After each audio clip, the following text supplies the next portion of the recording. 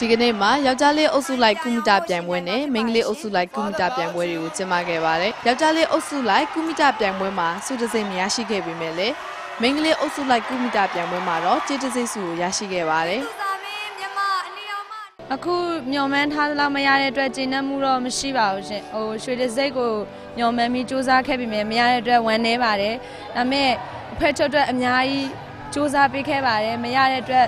ဝမ်းနည်းပါတယ်ရှင်ဒီပွဲရဲ့အတွေ့အကြုံအမှားအယွင်းတွေပေါ့အတူယူပြီးတော့နောက်မဖြစ်အောင်ရွှေစိတ်ရရှိအောင်ထပ်ပြီးစူးစမ်း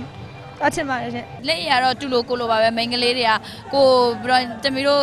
game ရပါတော့ contest game ပြီးတော့ talent ရှင်အုံနောက်လည်းကစားရတာဆိုဒီကောင်းတဲ့လူကဟိုစူးစမ်းတော့ main ကလေးတွေကတော့ရနိုင်တယ်ပေါ့ယောက်ျားလေးတွေကတော့တော်တော်စူးစမ်းရအောင်မယ် main ကလေးတွင်ကတော့ဟိုနော်ကိုလုံရင်လုံနိုင်တဲ့လောက်ရမယ်ပေါ့နော်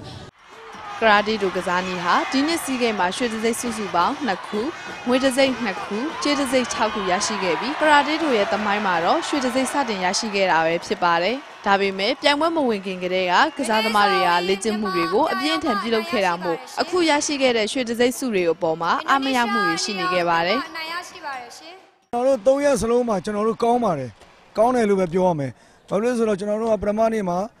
ရွှေတစ်ခုရတယ်ဒုတိယနေ့မှာနောက်ထပ်ရွှေတစ်ခုရတယ် နောက်ဆုံးနေ့မှာတီးမှတော့ကျွန်တော်တို့အစွမ်းကုန်ကြိုးစားခဲ့ပါတယ်သို့တော့ဟို၃ရက်စလုံးကိုသုံးသပ်ရမယ်ဆိုလို့ရှိရင်ကျွန်တော်တို့အားသားသမားတွေဟာ၃ရက်စလုံးမှာအပြည့်အဝအစွမ်းကုန်အကောင်းဆုံးရှင်ပြိုင်နိုင်ခဲ့ပါတယ်ကျွန်တော်တို့အခုစီးကိန်းမှာကျွန်တော်တို့ရဲ့စွမ်းဆောင်ရည်ကိုကြည့်လိုက်မယ်ဆိုရင်ကျွန်တော်တို့ရဲ့ပြိုင်ဘက်နိုင်ငံကြောက်အောင်မဲ့နိုင်ငံမရှိတော့ပါဘူးအင်ဒိုမလေးပြည်နဲ့ကျွန်တော်တို့စားသူကစားနိုင်ပါပြီအောင်မြင်မှုလမ်းကြောင်းပေါ်ကိုကျွန်တော်တို့ရောက်လာပြီဖြစ်ပါတယ်။